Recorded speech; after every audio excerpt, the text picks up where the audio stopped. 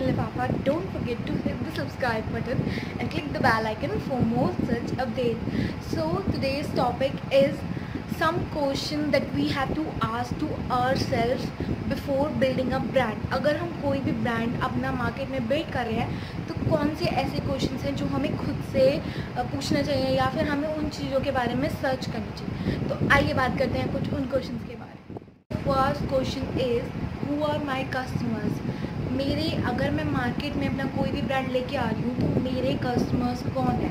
मेरे कस्टमर्स बच्चे होंगे, मेरे कस्टमर चिल्ड्रन तो टीन एज ग्रुप के होंगे, या फिर मेरे कस्टमर अडल्ट होंगे, या फिर मेरे कस्टमर्स थोड़े एज ग्रुप के होंगे, थोड़े ओल्ड एज के होंगे, कौन मेरे कस्टमर्स होंगे? तो सबसे पहली चीज़ अगर आपको अपना मार्केट में ब्रांड बनाना है तो आप ये आइडेंटिफाई कीजिए कि आपके कस्टमर एक्चुअली में होंगे कौन, और क्या वो आपके प्रोडक्ट्स को परचेज़ करेंगे या फिर नहीं करेंगे। सो सबसे पहला क्वेश्चन जो आपको खुद से पूछना है, वो आपके कस्टमर्स होंगे कौन? आपकी टारगेट मार्केट कौन सी होगी?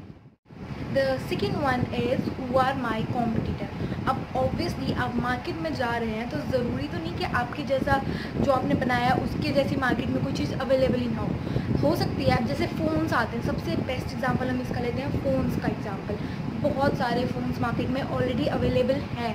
तो और नए फ़ोन्स भी मार्केट में आ रहे हैं तो वो क्या चीज़ सोच के मार्केट में आ रहे हैं? उनको तो दिख रहा है कि उनकी बहुत ज़्यादा कॉम्पिटिशन ऑलरेडी है तो वो किस चीज़ को लेके मार्केट में आ रहे हैं? उनके पास ऐसा क्या क्रिएटिव और न्यू आइडिया है जिसके थ्रू वो अपने कॉम्पिटिटर्स को बीट करके मार्केट में एंटर हो रहे हैं? तो द सेकेंड थिंग इज़ अपने कॉम्पिटिटर को एनालाइज करो और देखो स्टडी करो कि आपके कॉम्पिटिटर है कौन कौन और उनके वीक पॉइंट्स क्या क्या हैं जिनके थ्रू आप अपने ब्रांड को स्ट्रॉन्ग बना सकते third question is to identify what the problems does my company can solve मेरी कंपनी क्या क्या ऐसी प्रॉब्लम्स हैं जो सॉल्व कर सकती है?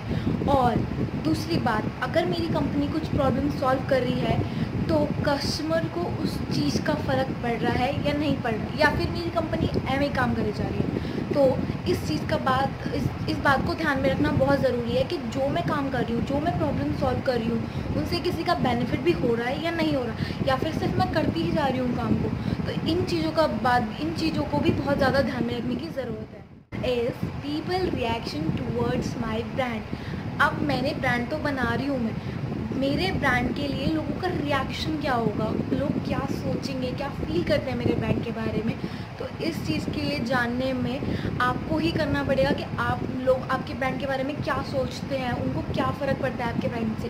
वो किस तरह से लिंक्ड है आपके ब्रांड से? तो या guys these are some tips जिनकी लिए, जिनकी वजह से आप अपने ब्रांड को बिल्ड कर सकते हो और मार्केट में एक स्टैंडर्डाइज पोजिशन पर ला सकते हो। So guys if you like my video do subscribe my channel and hit the bell icon for more such updates.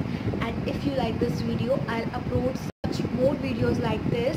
So keep me motivated